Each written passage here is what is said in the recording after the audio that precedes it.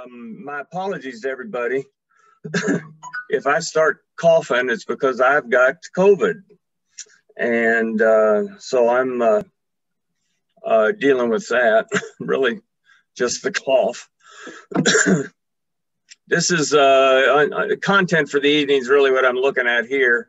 Uh, and we'll just cover five different areas. If you want to interrupt uh, and ask a question, uh, you may do so. Um, and then there'll be some time for questions afterward as well. Okay, it's not switching slides. There we go. Okay, the path. Uh, U.S. lacrosse tasks all the officials, um, associations like KLUB to train, rate, and certify umpires. So that's what we're doing right now. And here's the path you are on. Uh, join US Lacrosse, view all uh, USL online training videos designated by KLUB, and I'll get some details on that later. Um, attend new umpires orientation, that is this. Um, let's see, uh, and then there's the all umpires clinic on the 20th at nine o'clock in the morning. Uh, attend rating day. we'll have more about that.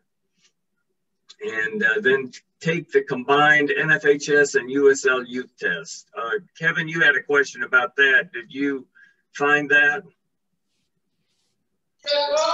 I'm going to try and get on there a little bit more tonight and tomorrow. So I'm off these next couple of days and go and find out if knocked out. If I have a problem, I'll reach out to someone okay. just to make sure I'm taking the right test.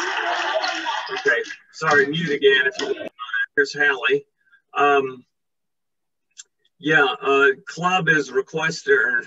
KLUB is requiring all its umpires to take the combined NFHS, uh, combined high school and youth test. So it's there's three tests. They're all 50 questions, but uh, KLUB wants you to take the combined test. Okay. Uh, come on. Why be USL certified? Be prepared. Training.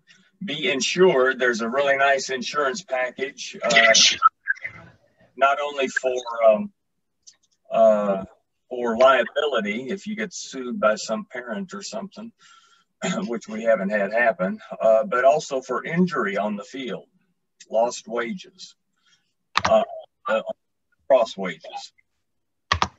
And then uh, Chris and I will not assign anybody who is not certified. So be prepared, be insured, be assigned. Okay, Chris, my voice is starting to go out here. This videos. All right, I'll talk a little bit. So uh, I'm Chris Niblock, and I am the assigner for the greater Louisville area, the, the Kissel League. And we do not have, as of this time, a middle school season scheduled, but I would normally do the middle school uh, seasons as well uh, John and I are doing the training, so we really want everybody to ask all the questions that you need to get asked because uh, there's sometimes some confusion out there, and we just want to clear up any confusion that anyone might have with regards to what is required of them in order to be put on the field. Um, and as John's mentioned, he's going through some of those things right now. Uh, you have to do some online training and U.S. Lacrosse has done a pretty good job this year, um, the last couple years actually, of, of, putting things online for us to be able to see and take. Um, everybody that's on this call should be doing at least the level one learning class th- um, through the e-learning portal of U.S. Lacrosse. And the classes that we require are listed there, and they will be in your e-learning portal and their professionalism rules one through four minor fouls, goal circle fouls, major fouls, misconduct, penalty administration, and two person crew mechanics. Uh, the two person crew mechanics are something you're going to be doing on February 28th. Um, some people on this call might be doing the three person mechanics. Uh, generally, our games are two person. Uh, we do have some that are, are three, but at a minimum, you need to be pretty well versed in the two person mechanics. Um, and I will be sending out the first go around of the rating day schedule here over the weekend. So be looking for that. Um, and then we also have to do the annual rules interpretation, which this sort of helps go over today. And then the youth rules, which normally we would have to be fairly well versed on, but this year it doesn't look like uh, there's going to be a uh, a league run through the schools, although there will be another league run um, privately at King Louis on Sundays. There's going to be a there's going to be a middle school excuse, excuse me middle school league in Lexington. Okay. So that that'll be good. So uh, so that's that's great news for Lexington. It'll give the officials a chance to work on their game and uh, give those players an opportunity to to um, to get better before they they get to the high school level. Thanks, John.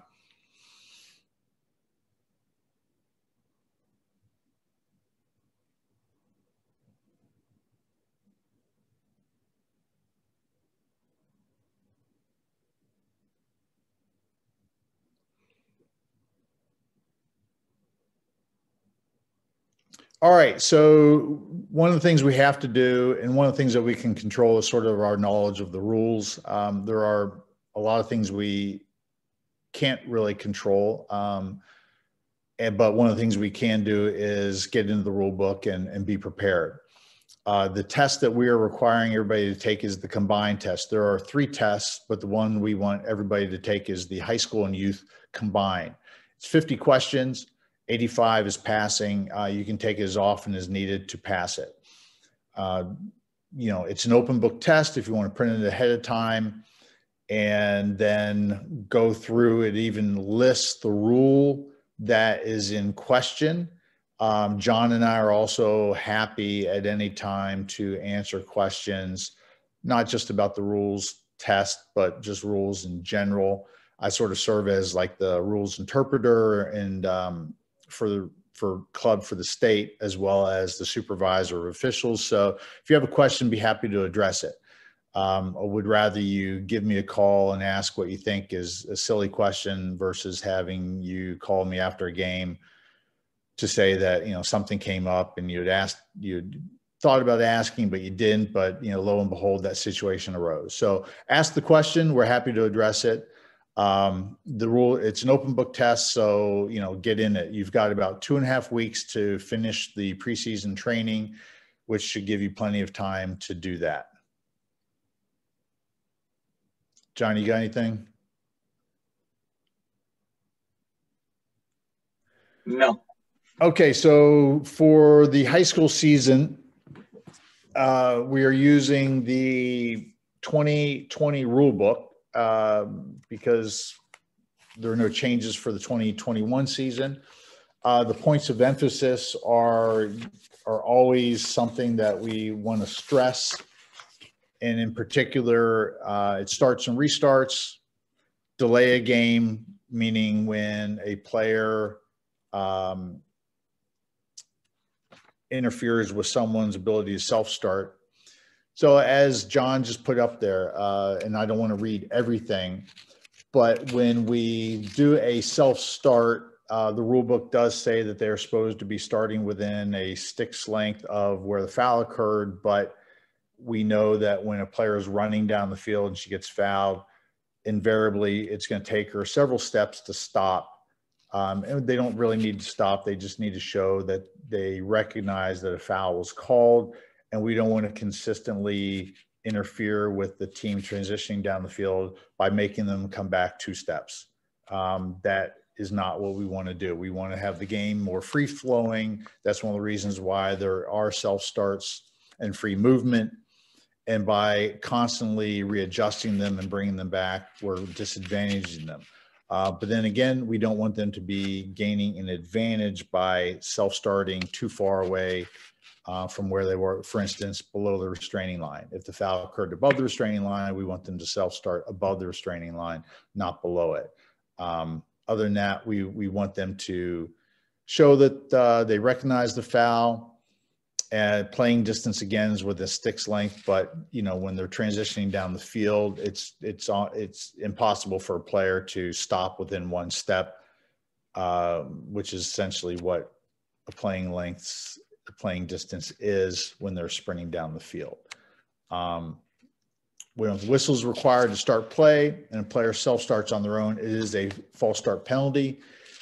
Two years ago when these when self start came in we were allowing the player the benefit of the doubt. Right now uh, we want to make sure that they're starting when they're supposed to start. And if they have a question they can ask the question and we should be able to tell them you know it's a whistle restart or they can go ahead and self start uh, you're not really coaching they're asking the question we're giving them an answer hey chris yes it's greg yes so so uh, a foul occurs we blow the whistle we point the direction that the play is going. We make the call for the foul. Yep. Does the player have to wait until those two things are done before they take off? No. No. So we may be making a call. Yep. And they're going. Yeah, and that's okay. why direction. Uh, so you you blow your whistle, tweet. Direction is sort of the first thing that you should be doing because you want to tell everybody what sort of who is who you're awarding the ball to. I got you. Yeah. Uh, a lot of times it's self-evident, but you want the direction first, and sometimes we never even get the signal out for what the foul was because they're going down the field. Um, and again, the onus is on the player who's getting awarded the ball. If she decides to self-start when a defender is right in her face, that's on her. If she takes that step, she has self-started. So the only evidence of recognizing the call is not evidence of recognizing the exact nature of the call. It's that a call is being made and she needs to stop. Stop or or slow. Yeah, yeah. Re- recognize if she's sprinting down the field, it's sort of like a rolling stop through a stop sign. You know, she's she's sort of putting on the brakes, but she doesn't come to a complete stop. She, you know, she's got that hesitation. Then she can continue going. She has recognized that a foul. She's good called. then. Okay. All right. Thanks. Thank yep. you. Yep. Yeah, and, and as Greg did, anytime someone has a question, please just chime right in. Uh, we're happy to go over all these. But uh, again, these are points of emphasis um, with the pace of play increasing, uh, offensive, defensive delay of games outside the critical scoring area and with boundary restarts important. So again, uh, a boundary ball is not a foul. Ball goes out of bounds. They can come inbounds. They don't have to stop. They can run inbounds and and keep going uh, you know, again, a, a, defensive player is supposed to give them the ability to step on the field and start so they can't be like setting up a wall one foot off, one foot inside the sideline. They're supposed to give them two meters of space, but once they step on the field, they are self starting and can be played. Um, attempting to self start beyond the playing distance you know, again, these are what we could consider to be delay games. You want to look for something that's persistent, that is uh, continuing, that that always is occurring. Um, we want players who've fouled to move away from the player with the ball, give them that two meters of space. But again, if the girl self starts, it's on her. And self starting occurs by two things passing the ball and taking a step. So once they've done one of those two things, they have self-started and can be played.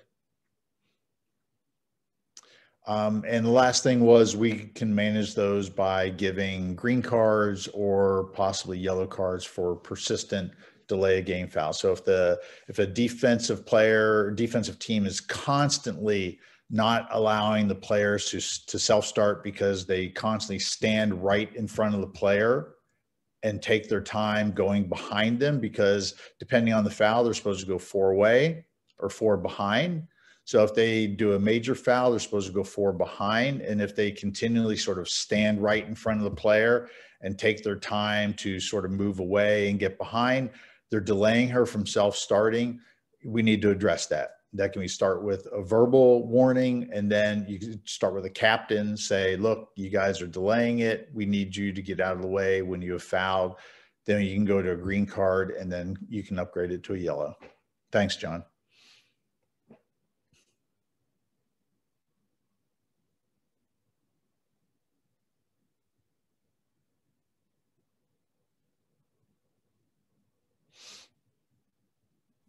We're on repeated fouls now, Chris. Oh, okay. I'm sorry. Um, no, again, so this is a big one. Uh, repetitive fouls, um, and these are like horizontal sticks. Uh, I see it all the time, not just indoor, but outdoor as well. A horizontal stick to the body is a foul.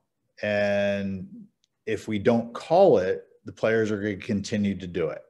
Um, it doesn't really take a lot of effort for a player to move their hands like this in a legal position. But if they make st- stick to body contact and the stick is in a horizontal position, then it's a foul on them. And but if we don't call it, the players are not going to change their habits. So we need to make sure we call it. And after numerous calls, if they don't adjust to how you're calling the game, then you can start carding. Um, and you can start by doing a yellow card after numerous calls for the same foul. They haven't gotten the message, yellow card it. We have the ability at any time to upgrade fouls. So you're upgrading a major to a yellow. Um, and as it says, any foul called on the field is considered a warning to all players. So when you're calling a foul on one of the teammates, sort of warning to all the other players, and it should be a warning to the coaches that we're not going to allow that play to continue, that type of play. And so they should adjust. And if they don't, you address it with the captain, and then you address it through your louder whistles and cards. Um, let's see, officials must be aware of, of, teams and players that continue to foul in particular situations uh, you know, again, transitions, one of them, teams are going down the field. Sometimes teams foul on purpose to slow down a quicker team. You sort of need to be aware of fouls that occur while they're trying to play good defense and fouls that occur because they're trying to slow a team down and and it's sort of a professional foul, if you will. Um, and you need to recognize when players are just not very skilled and and and they foul. But again, it's why we can hold for advantage uh, we, we need to recognize when a foul has occurred and the offensive team is moving down the field and the girl is past the defender. By blowing the whistle, we are disadvantaging them, disadvantaging them even further by making them sort of stop, recognize the foul. So if there's a foul, maybe a stick across the body as she's dodging someone in the midfield and she's past the defender, but there's a stick across the body, which is a foul hold the arm for advantage. By blowing the whistle, you're disadvantaging the attacker again because she's past the defender. So again, we, we need to sort of recognize those things. If you do hockey, it's it's a it's a skill that hockey officials have because you you recognize the foul, but you're giving advantage. So we want to make sure that we're doing that. So any any questions about advantage? Yeah, Chris. Yep. So would that only be for, would that even be for major fouls? Yes. And would it be for fouls? It would obviously not be for fouls that are carded. Or would it? No, I so, guess I should ask. Would, would it also be like a check to the neck or the head? So would you couple, ever? Couple things on on that, and it's, it's a good question. Um, so in the critical scoring area, when we see a foul, we raise a flag and the flag shows that we recognized a foul, but we're allowing the team to continue on toward goal. In the midfield, outside of the critical scoring area, we, we can't raise the flag because they can't be on the scoring play outside the critical scoring area. So we use an arm to uh, show the advantage. You can come back. So, for instance, if if a girl gets fouled, maybe just outside the 12, maybe she's passing to a teammate, and she gets jacked by a defender as she's passing to her teammate in front of the goal, you can show advantage for that foul and maybe the team shoots and scores and you can come back and you can card. So Oh, okay. you can come back and card, and then we would start with a free position at the center because we have a card, we've got a good goal. So make sure, you know, the sequence is tweet for a goal, timeout, show the card, show what it's for, and then you're showing direction that you're going to restart play. And when you go back to center after everybody is subbed out, again, you, you're going to call timeout.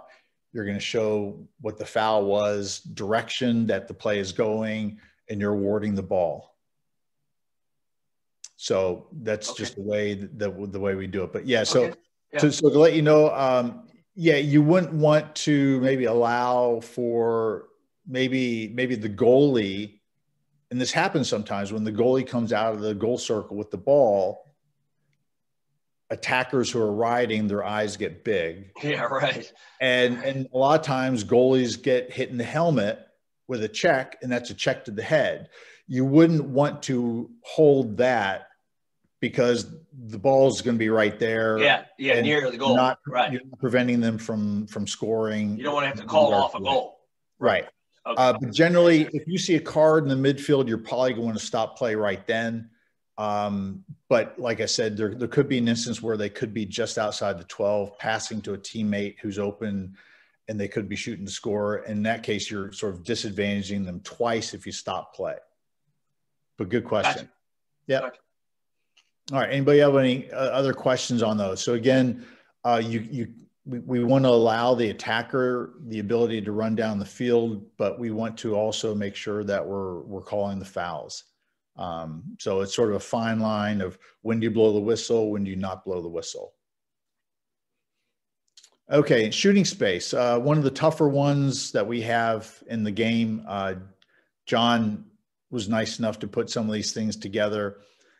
And it is like an ice cream cone. So again, uh, shooting space is pretty much the only um, immediate whistle that we have.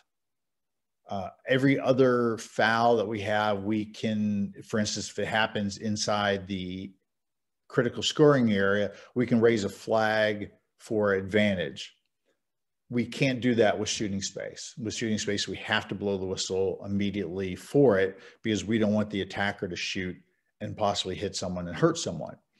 Um, as the green box mentions, the shooter always has the responsibility to shoot safely. So many cases, we actually could have offsetting fouls where the defender was in shooting space, but the attacker shot unsafely. And, and just because they shoot because we're late with a whistle doesn't mean it's automatically a card for dangerous propelling there are many attackers who are skilled at shooting and they could do a bounce shot by the defender. Um, you know they could shoot high above her because they're in their shooting motion. They're waiting for us to blow the whistle. Um, so don't assume and it's not an automatic that just because an attacker shot she should be carded for dangerous propelling because they can propel in a safe manner when someone's in front of them um, but in many cases, you actually could have offsetting fouls. The defender steps in front of the, the attacker, the attacker shoots and hits her. So we have offsetting fouls for shooting space on one side, danger propelling on the other. We've got, does anybody know what we have at that point?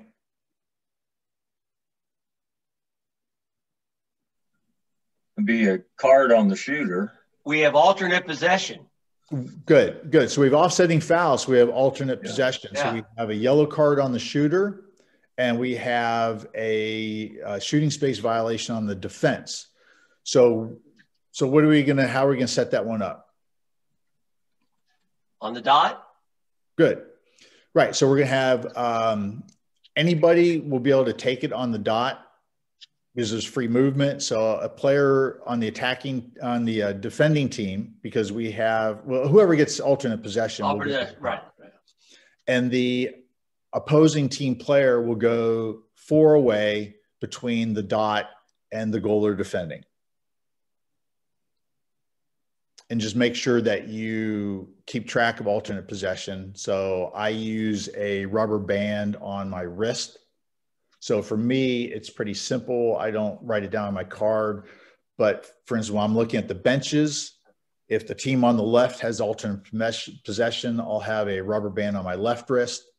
So when we go to change, it's very simple. Just take it off, put it on my right wrist. So I'll know looking at the benches, the next time we have alternate possession, if we do, it's going to the team that's on the right side because that's where my rubber band is. So I don't have to worry about writing on my car, pulling out, you know, in bad weather with gloves on. It's just very simple. I just put a rubber band on my wrist and it's just an easy way to keep track of it.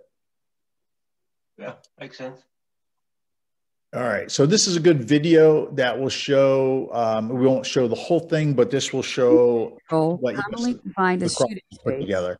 perhaps the most difficult rule in women's lacrosse to understand and to officiate. The following lesson will help umpires, coaches, and players understand shooting space and what requirements need to be met before the call is made. When shooting space is present, it is an immediate whistle. This foul may not be flagged. Additionally, if a shot is taken and a goal is scored during a shooting space whistle, the goal does not count. It is impossible to know when the goalie relaxes in this situation. Therefore, the penalty stands and the correct penalty setup must be administered. When discussing shooting space, it is important to note that the defenders who are within a stick's length of any attacker, ball carrier, or otherwise are not in the shooting space.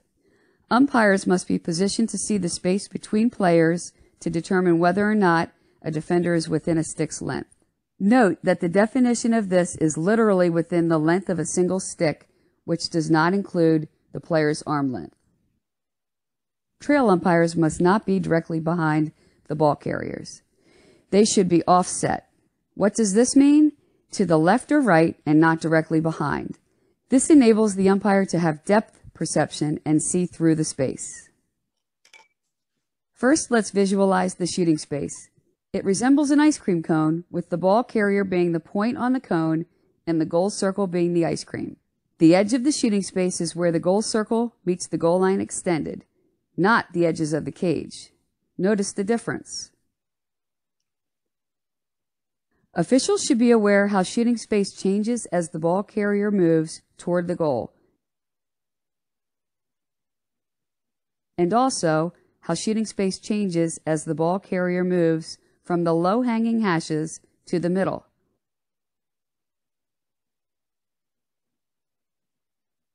Players are allowed to have their sticks in the shooting space lane as long as their body remains safely out of the lane. In the two-person system, the lead official will be looking up at the shooting space lane on her side, and the trail official will be offset looking down the lane for shooting space. When an 8 meter is awarded at the hanging hash and defenders are cleared along the lane, see how many steps it takes to be in the shooting space. Hey John, can you pause it real quick? Potential. Okay, so this this video was made before the penalty zone was put in. Um, wish they'd updated, but they didn't. But it's a really good video what they did to show visually what shooting space is. So uh, prior to a couple years ago, this was something we had to be concerned with. But now at the penalty zone, everybody is cleared out, so we don't have to worry about people stepping in. Um, on free positions that are on any hash because they're all cleared out. So again, that's this situation which they're talking about right now will not occur now because the penalty zone, which goes down to pretty much where the yellow line is, um, like the soccer line, or maybe that's the uh, I'm sorry, the, the field it's field hockey lines, the yellow lines here. Um, these lines are pretty much where five meters away. So everybody would have to be below the yellow line. So no one would be able to step into shooting space on free positions. Shooting space will happen more quickly in this scenario than the next example where the shooting space is set up at the top of the 8 meter fan. Here it will take multiple steps for a defender to arrive in the shooting space lane. So John, can you pause that real quick? So again, the the low defenders in our game today will not be there. They everybody has to clear out of the penalty zone, so you don't have to worry about them. The only player in this situation here that we need to be worried about is the player in the adjacent hash. And again, defenders are awarded uh, or given the opportunity to get to an adjacent hash. But if no defender steps up to that adjacent hash, then an attacker can get there. Um, and you just want to be aware of jostling, but pretty much the change of the rules took the jostling out. But uh, a lot of times, two defenders will try to get there quickly and push one of them forward. The pushing is is fine, uh, but if you've got a defender on that hash and the next person to them is an attacker, that doesn't mean a defender can sort of push them out of the way to get up to their teammate. So if the next person in line is an attacker, the def- next defender doesn't get to push someone out. They get one person on the adjacent hash, and after that, sort of it's first come, first served. Thanks, John.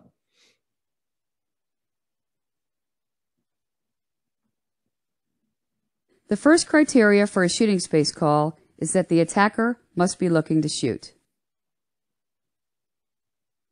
Here it is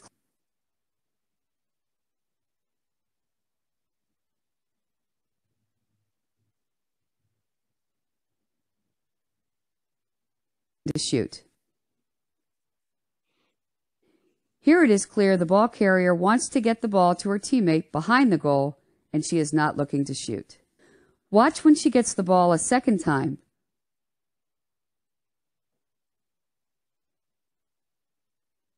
She is clearly looking to shoot. This is something the umpire judges based on circumstances of the play and visual cues from the ball carrier. Watch how differently the player looks when she is looking to shoot. The next criteria needed to make a shooting space call is that the ball carrier must have the opportunity to shoot. This means the game situation presents the attacker a clear and safe way to shoot. Watch as the attacker in double and single coverage is being so tightly marked she has no opportunity to shoot.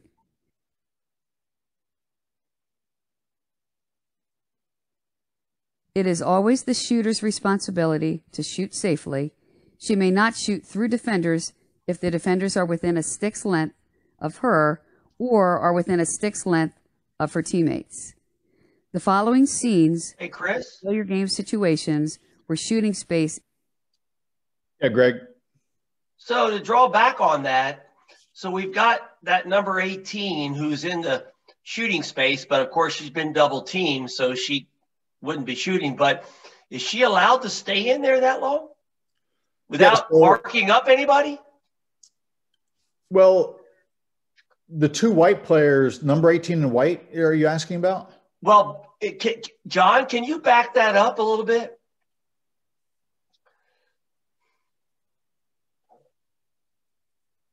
Opportunity to shoot.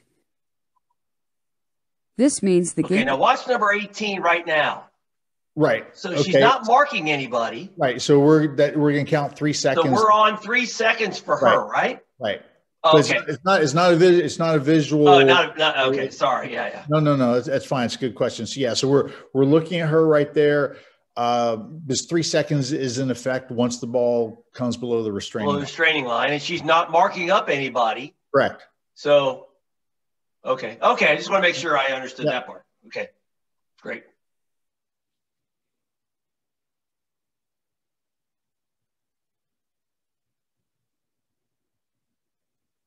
This is that the ball is that the ball carrier opportunity to shoot.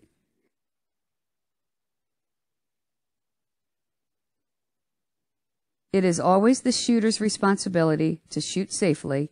She may not shoot through defenders if the defenders are within a stick's length of her or are within a stick's length of her teammates.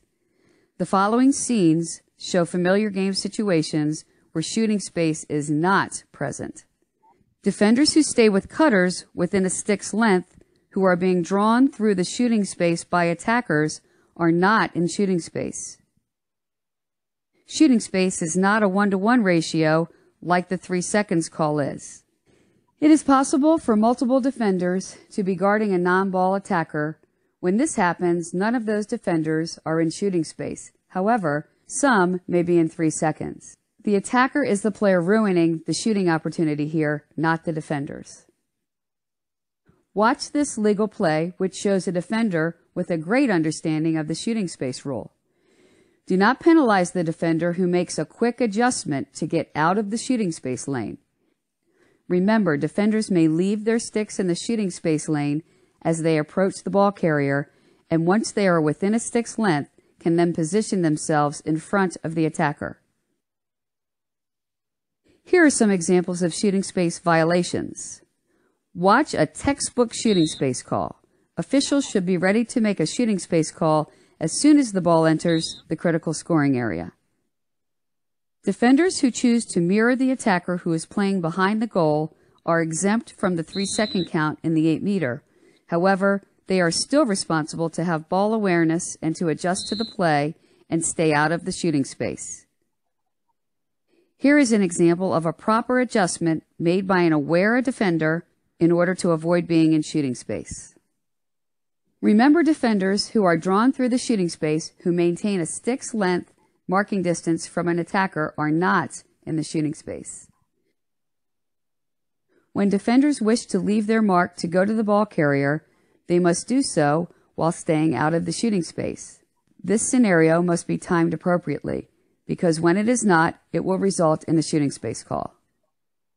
Here is a defender who incorrectly leaves her mark to play the ball carrier.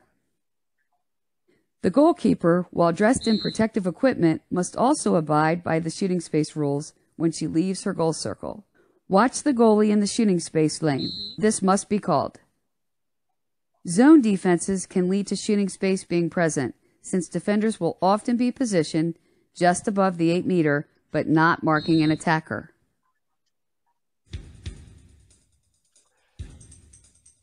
Hey, Chris? Yep. Or John? So would you guys, just for a moment, talk, go back to where we had a triple team? Okay. And you were talking about none of those would be in the shooting space, but they could potentially be in three seconds.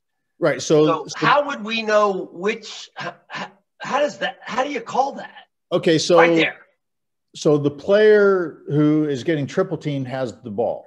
right? So in this instance, they can all be around her. There's no time limit. They all can be within a playing distance of her, and they can stay there uh, for as long as they want.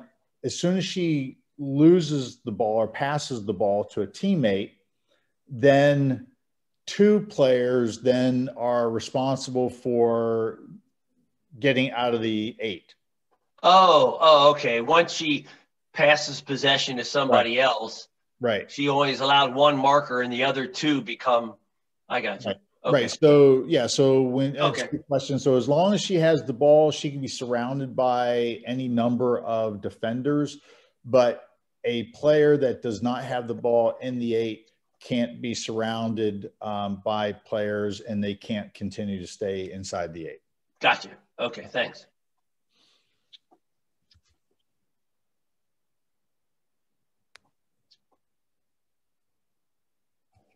Foul is called in the critical scoring area. Officials should be aware of where the players are at the end of the play so they can be moved appropriately.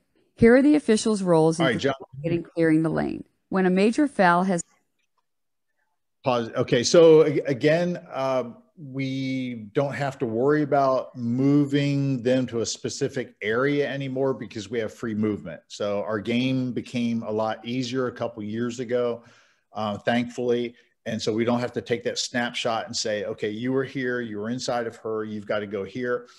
So if there's a foul between the eight and the 12, we're putting her on the 12 and we're clearing the lane.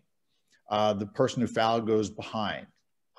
So this it's a little bit different from um, from the way it was, and we're happy that they changed it this way.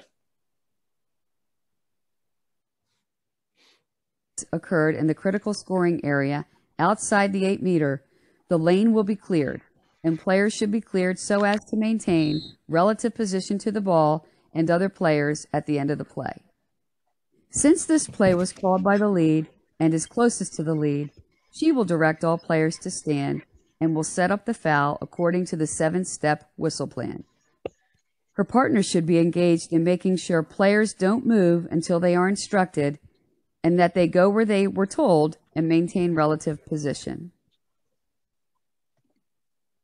When the same scenario occurs on the far side, the trail will need to be more active in assisting the lead and making sure the lane is clear since only the trail will be able to visualize this. When fouls occur inside the 8 meter arc, the entire arc must be cleared. For major fouls, the arc in the lane needs to be cleared. Players are cleared with respect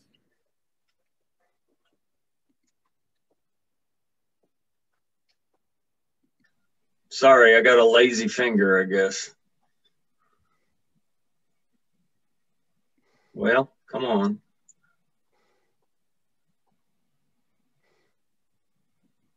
Well, gee whiz. Are we finished with this slide? yeah, if you want to move to the next. Yeah, I, I, I don't know what I was doing there. Okay. All right, go ahead, John, on this one. Uh, I'll talk as long as I can. Well, not as long as, as long as I need. Um, I think Chris has been inviting uh, everybody onto Arbiter and Arbiter Pay.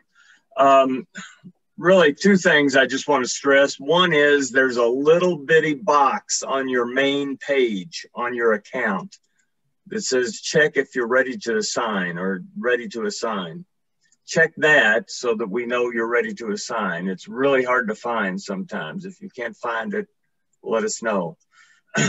also, I've got a PowerPoint tutorial, and that might be uh, uh, a little bit dated. It's it's uh, maybe two or three years old, um, but on how to get onto Arbiter, how to handle all the problems, blocks, and so on. So, if you need any help finding that, um, happy to ha happy to help you. Chris, you probably speak to rating day. Okay, so as I mentioned at the beginning of the day, everybody needs to have a current rating in order to get put on games. And so I'm putting together a schedule. Uh, currently, the rating day, we're, we're shooting for February 28th. It's going to be at Sacred Heart on their back grass fields which is, is going to work out nicely. So one of the fields is going to have probably varsity games. One of the fields is going to have JV games. One field will have probably three person mechanics. The other field will have two person mechanics. So everybody needs to be there. Um, I would suggest you get there at least an hour early so you can watch games, ask questions, and then you'll have probably two halves worth of games. Probably um, you'll have a half followed by uh, 20 minutes of, of watching the next half, and then you'll get back on the field. And that way you can sort of digest a little bit about what you've heard and been have been told, and then you can get back on the field. So uh, everybody needs to be aware.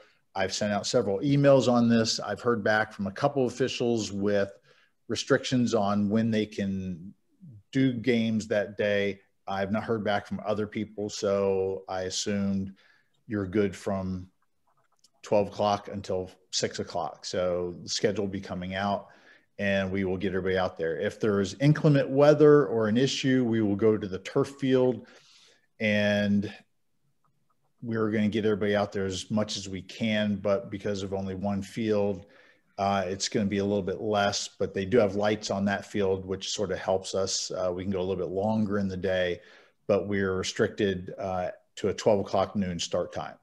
So just be aware that a schedule will, will be coming out probably this weekend showing uh, what time you're out there and who you're going to be with. Um, so just be aware that you know you're out there to practice. Uh, the teams are out there to practice. We're out there to practice. You're out there to ask questions so that way, when the season begins, you'll have a game under your belt. Uh, if you're a new official, you will be paired up with um, a more experienced official that has several years under their belt.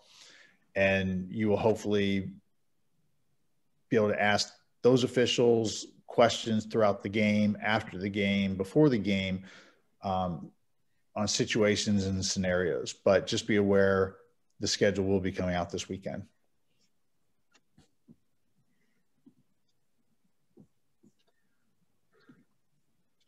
Anything needed to highlight? No, we have two different start times. So the Commonwealth League, John uh, assigns, is essentially every team outside of the greater Louisville metro area, except for the Northern Kentucky Notre Dame team, which plays in the uh, Kentucky Scholastic Lacrosse League, which is the greater Louisville area. Everybody else plays uh, under the Commonwealth, which Greg is the commissioner of that's on this call. So they will start on the first. Louisville area starts on March 6th. Um, John, do you want to talk about the Woodford County Jamboree and if you need officials or? Yeah, it's uh, I've I've started assigning it.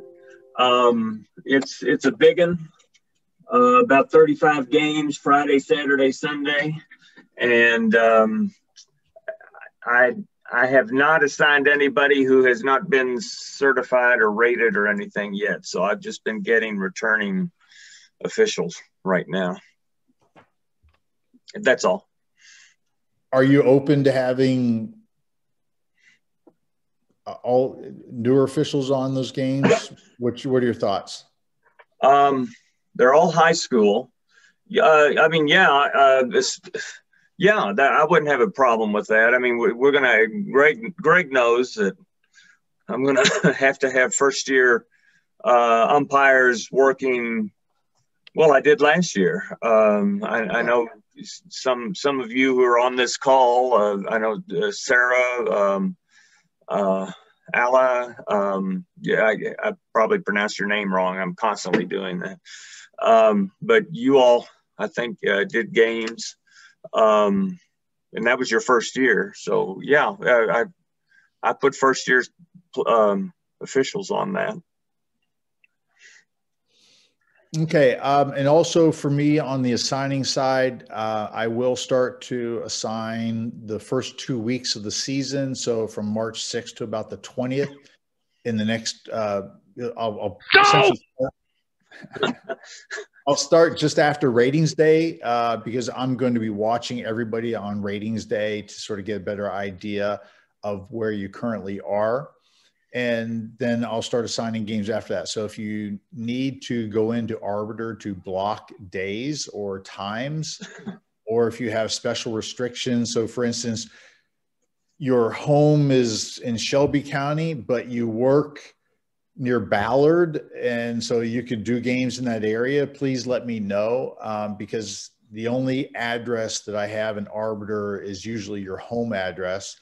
Uh, but if you work somewhere close to some other schools, maybe maybe you work uh, near Male High School, and so you got collegiates over that way. Male Manual Stadium's not too far. Those things help.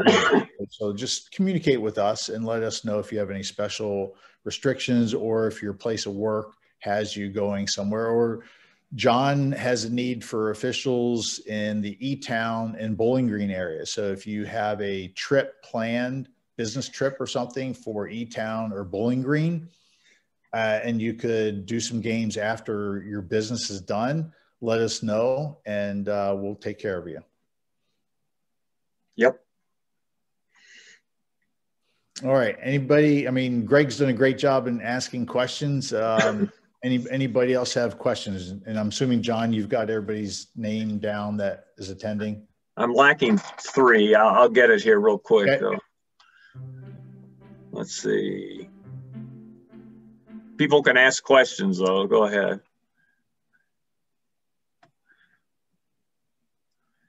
What is the thing that's happening on the 20th? I never got an email about that.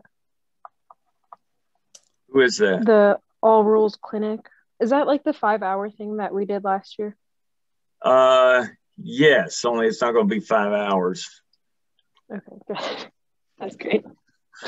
Yeah, the twenty does our general it's nine o'clock. It's Zoom. Yeah, it probably what? What do you think? An hour and a half, John? yeah, I, I don't even, yeah, yeah. Can you send out the link for that again? Yeah, sure. Uh, I think Steve Rance was, was supposed to do that. I'll make sure he, he does. Yeah. Okay. Yeah, Okay. I don't think I ever got like any information about that. So that was new to me. Okay. I'm sorry. Oh, you're good. Well, Thank you. Um, Hey, Chris, this is Mark.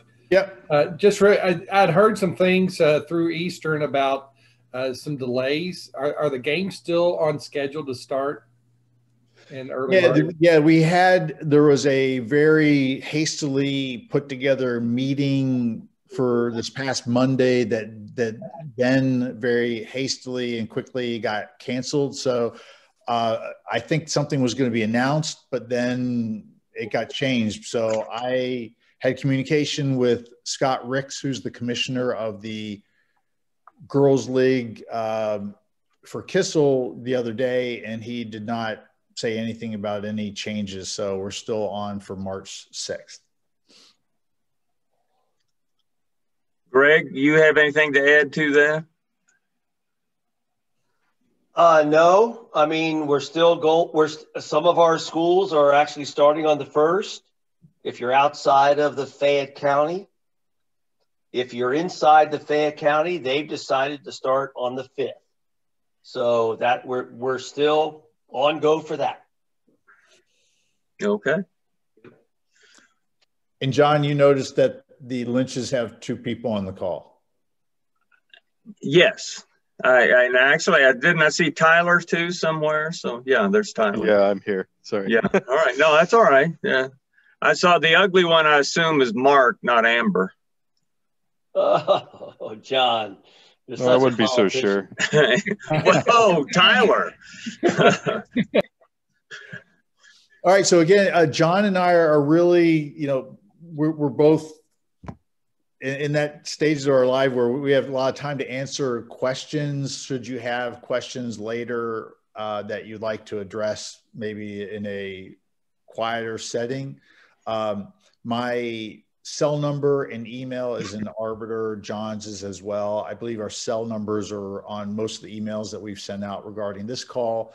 So um, please reach out to us. I'm, I'm happy to field any and all calls with regards to rules questions. Uh, you know, John briefly had it up there about uniforms. Uh, you know, we, we're looking for, you know, the one inch stripe shirts, black shorts, black pants, black kilts or skirts. Uh, you know, we understand with pants, sometimes they might have a white stripe in them. That's fine. Uh, you know, black hats. Fortunately, our accessory color is black. Uh, if you do hockey or something, you're you're all different fuchsias and all these other colors. So uh, black's a fairly easy color to come by. Um, so if you got any questions on uniforms, let me know uh, there, and I'll be happy to uh, address them. Uh, we're fortunate that Ump Attire is a really large online um, officials retailer. Uh, they are by the truck plant out on um, off of the Gene Snyder, and you can place an order, pick it up that day, um, which which is sort of handy. But if anybody has any questions about that, let us know. Hey, Uh, Chris. yes. So uh, at the ratings day, anything about masks and whistles? Are we going to be required to wear masks or?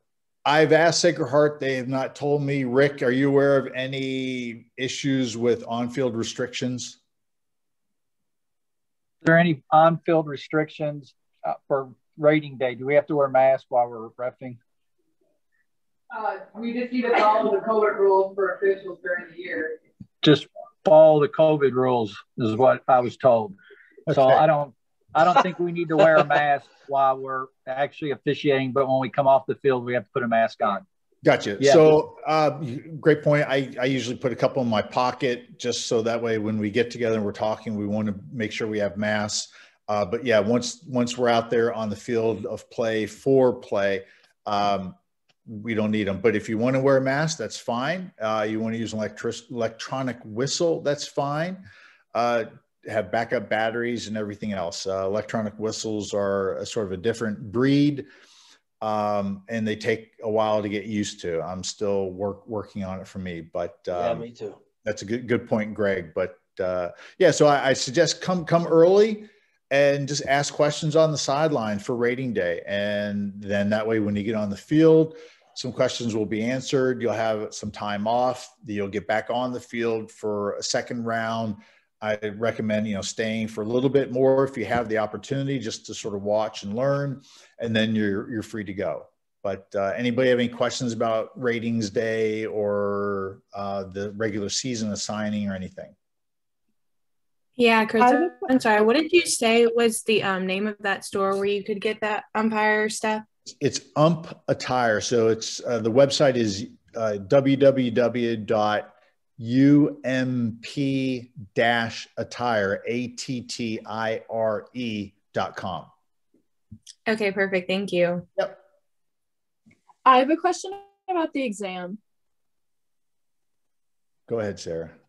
Um so once you're on the us lacrosse website where do you go to take it? John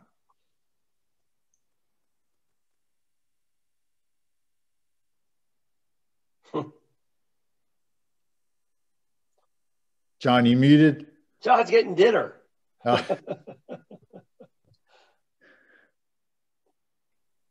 Are you hoarse, John? No, I was just I was upset. I didn't want to. Um, it's it's on that same site as all your videos. Now that's an easy answer. Let me get on to US lacrosse. Can can you see my? Oh, you can't see my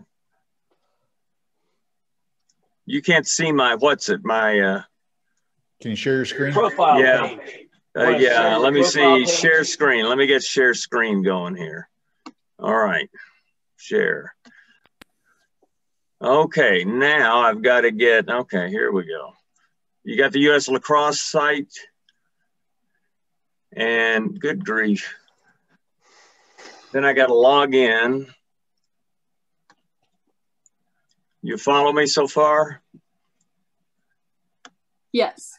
Okay, and then I, so I'm logging in. Go up to that hamburger in the left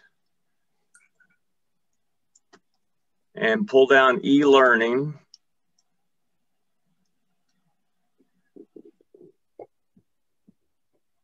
I'm sorry, this is probably a roundabout way, but that's the only way I've been able to find. Okay, girls lacrosse officials, click on that.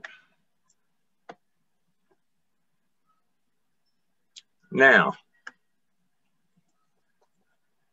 what I do when I get to this is that hashtag 2021, whatever that says there,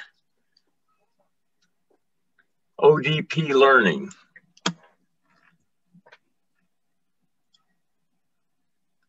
And officials, women's game. Oh, I had checked, I clicked on, okay, level one. Okay, so you got onto your level one there. So it's got your online rules course, your level one learning courses, the annual rules interpretation, and then the exams. And this is the one you want to pick. Now, I know that was kind of convoluted, but that's the best way I can, I've found to get there. I think I've got that posted on my unofficial weblog, how to get there. I think it's gone out in an email as well. Okay. Yes. Yeah, that's true. Um, the email is from the 6th of February. Say again? My email is from the 6th of February. That's the day you sent it out. Okay. I have it pulled up here. Does that work? Does that? Yeah, the, I followed okay. it and it got me there. Okay. And there's also like a link to level one and level two or three. Um, if yes. you just click it, it'll take you there right away. Okay. Yeah. I, yeah, it's generational. That's the way I've found it. So that's the way I'm doing it. but yeah, yeah, I'm sure you can find a better way to get there. Okay. Does that help you, Sarah? Yes, and then we only have to take the combined one, right? Correct. Okay. Okay, so it's been right about an hour, so we want to respect your all's time. Um, like I said, my email and, and cell numbers available. So if you have any questions, let me know. But do be expecting an email from me uh, regarding a schedule for the 28th coming out in the next couple days. And I remember somebody asked uh, about an email for the 20th. I'll make sure that goes out again. Similar format.